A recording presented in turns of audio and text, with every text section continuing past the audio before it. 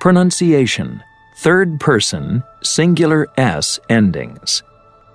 Notice the pronunciation of the S endings.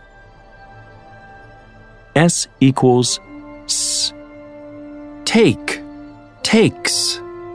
Sleep, sleeps. S equals Z.